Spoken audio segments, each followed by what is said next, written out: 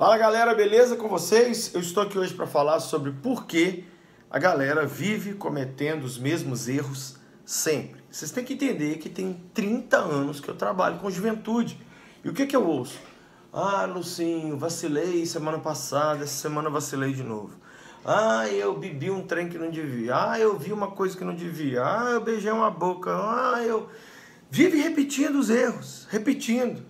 Aí vai num culto, ou lê uma Bíblia, ou sei lá, vê um vídeo desse, desse no YouTube, aí fala assim: Deus me perdoa, Senhor. Ai, eu não vou fazer mais, eu não estou aguentando mais. Então vocês têm que entender que eu não, eu não atendi 50, eu não atendi 200, nem mil. Eu atendi milhares e milhares de pessoas, principalmente adolescente e jovem, falando isso para mim. Eu vivo repetindo os mesmos erros Sempre. Então eu vou explicar por quê. Por quê? Antes de eu explicar, você vai me fazer aquele favor de todo o vídeo. Você vai nesse momento curtir a publicação. Você vai nesse momento compartilhar. Você vai se inscrever no canal, que você fica vendo o vídeo sem se inscrever. Aí você quebra minhas pernas e você vai ligar o sininho da notificação aí para você receber sempre o alerta de que a gente está com vídeo novo, apesar de que a gente está fazendo vídeo todo dia, então é só você saber isso. Bem, feito isso, vou explicar por que, que a galera vive repetindo seus erros. O pessoal sempre repete os erros porque confunde ser perdoado com ser curado. É simples, olha que fácil. Né? O que é perdão? Deus me perdoa. Você acha que você precisa de alguém para intermediar sua relação com Deus? Não.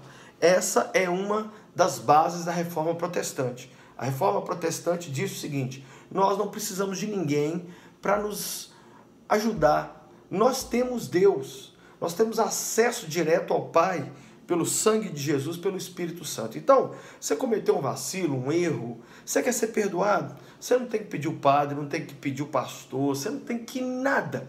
Onde você estiver, simplesmente fala: Jesus, eu pequei, Deus, eu confesso meu pecado, me perdoe em nome de Jesus, eu estou arrependido. E acabou, está perdoado. Beleza? Agora, e ser curado?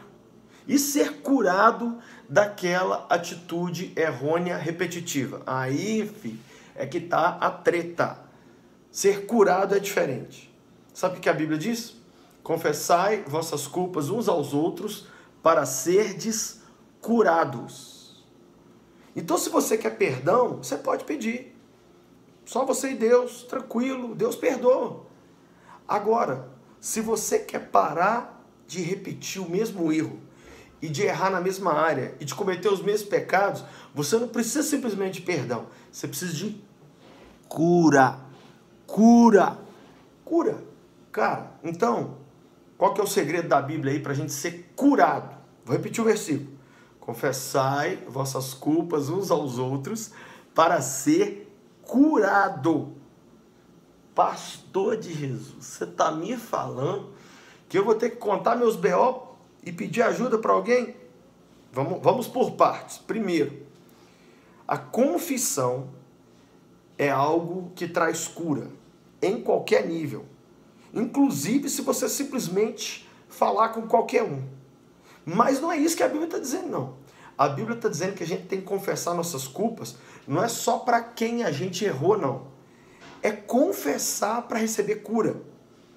Essa confissão era uma prática comum dos cristãos da igreja primitiva e da Idade Média, mas hoje se perdeu. Né? Hoje se perdeu. As pessoas vão, pedem perdão para Deus, mas vivem repetindo os mesmos erros, porque não sabe que precisa de um acompanhamento. Vocês estão olhando para um cara que eu, com os meus erros do passado e de hoje, tenho meus pastores, meus líderes, as pessoas que me discipulam, me acompanham, que eu sento com elas e falo assim, ó, pisei na bola, me ajuda, aí as pessoas me acompanham, me ajudam, resultado, tudo que eu já vi de nocivo na minha vida, que eu fui lá, confessei, pedi ajuda, eu hoje estou aqui diante de vocês falando, eu tô liberto. Inclusive, acabei de colocar aí no canal um vídeo falando de quando eu estava preso na pornografia, muitos anos atrás, no início do meu casamento, lá antes de casar, como que Cristo me libertou lá na minha adolescência, porque eu confessei, pedi ajuda de pessoas idôneas, tá? Não é conversar para sua amiga que tá vacilando igual você, não. Não é falar com, por WhatsApp com qualquer um, não. É falar com seu líder de jovens, é falar com o pastor da igreja, é falar com seu pai, com sua mãe, é falar com gente que pode te ajudar. Não é gente que está na mesma furada que você, não. Tá? Então, ai pastor, mas é muito difícil, como é que eu vou contar? Cara, é exatamente no reconhecimento do seu vacilo que já está toda a cura.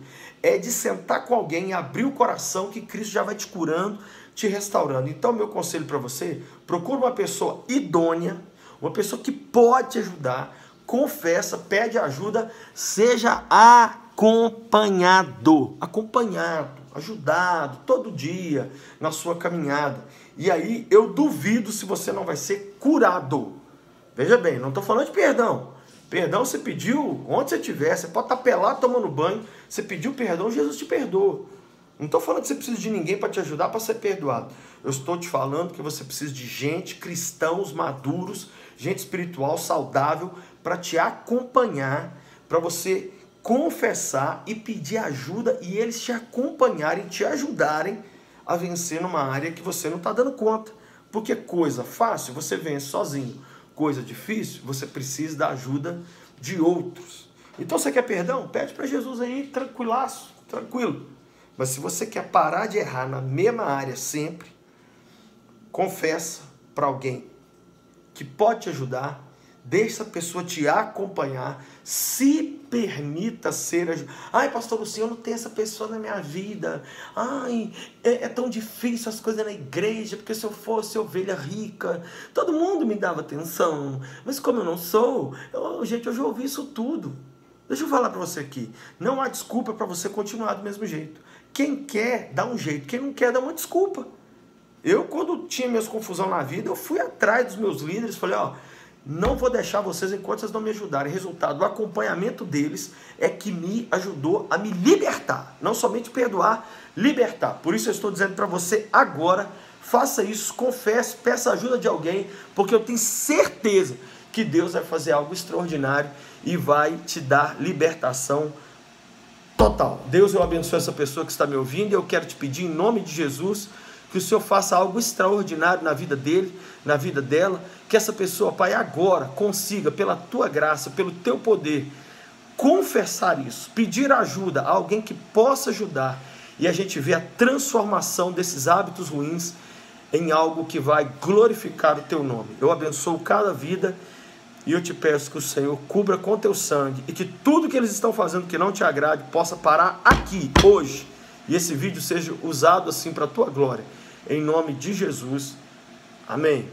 Fi, faz aí agora. Curte a publicação, compartilha a publicação, se inscreve no meu canal e ativa esse sininho aí para chegar a notificação para você direto, beleza? Deus te abençoe. Até